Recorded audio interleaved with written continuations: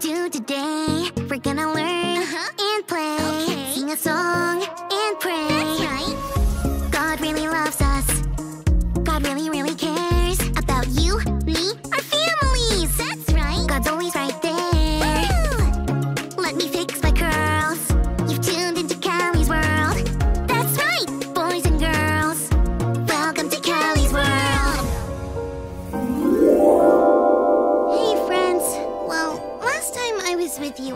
Some great news. My family was headed to the beach for Christmas. This time, I have some not so great news. So I guess there's this big storm called a hurricane, and it is headed right towards the beach we were going to go to. So, we can't go. That makes me feel sad. Do you ever feel sad when you get not so great news? I don't really know what a hurricane is, but I wish it would have hurried up and left the beach so that we could go there for Christmas. I can't believe that big storm decided to visit the same beach at the same time that we were going to be there. It feels like really bad timing. That's when something happens at a certain time. It can be bad timing or good timing. It depends on what happens and when. Like one time, I was playing at the park.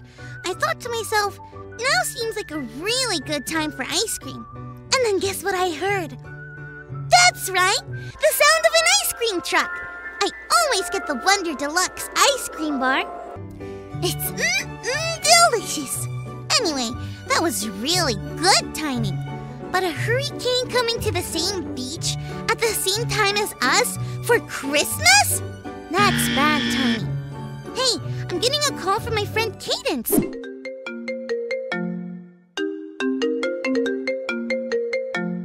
Hi, Cadence. I was just telling my friends I was feeling sad, and you called. Hey, Callie, what's wrong? There is a hurricane that is keeping me and my family from going to the beach for Christmas. No tropical Christmas for Callie after all. Oh, I'm sorry that you're sad. Did you say hurricane? Yeah, why? Oh, I think you mean hurricane.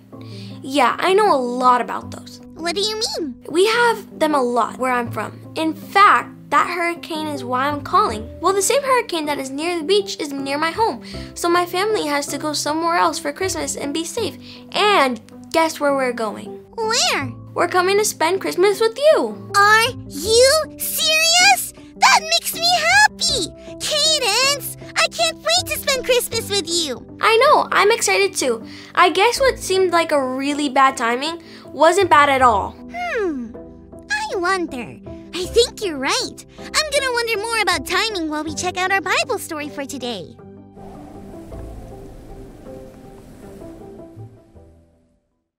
It's time for today's Bible story, and it comes from the book of Luke, chapter 1. A priest named Zachariah and his wife Elizabeth loved and obeyed God. They prayed for years and years to have a baby, but they couldn't, and now they were old. Zachariah worked in the temple. That's a place where people came to be with God. One day, while working, Zachariah saw an angel. He was so scared that he shook. The angel's name was Gabriel. He told Zachariah not to be afraid. Gabriel had a very special message that Elizabeth would be able to have a baby boy, and they were to name him John. John would bring lots of joy to his family. He would help many people believe in God as he got people ready to meet God's own son, Jesus. Zechariah wasn't sure about this. He and Elizabeth were old. How could they have a baby? How could this be? Gabriel said that this news was straight from God. And because he didn't believe it, Zechariah wouldn't be able to speak until the baby was born. And just as the angel said, Elizabeth became pregnant. It was hard for Zechariah to believe God because of the time God chose for them to have a baby. But God had made it happen at the perfect time. Sometimes we wonder when God will do something. In those times of wondering, we can remember Zechariah, Elizabeth, and the baby John. And we can remember that we can trust God's timing. Wow! I guess what seemed like a really bad time for John to be born turned out to be like the best time for John to be born. God really knows what to do and when. We just have to trust God's timing. God sure does. So, Callie, I'm packing my bag to come to your house for Christmas.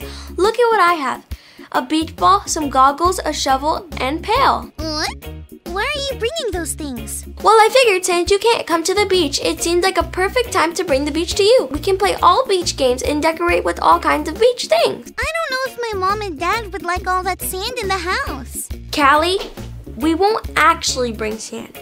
For that, it will be the perfect time to use our imagination. yeah, this is gonna be so fun. Don't forget to bring your sunscreen. But isn't it cold over there? You never know. See you soon. Bye, Cadence.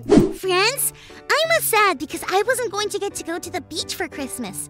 But then my friend Cadence called and told me they were bringing the beach to us for Christmas. The time that things happen and the reason why can be confusing sometimes, like it was in the Bible story. But what we learned is that we can trust God's timing. Maybe today is the perfect time to trust God a little more for when things will happen and why. Thanks for learning and growing with me, friends.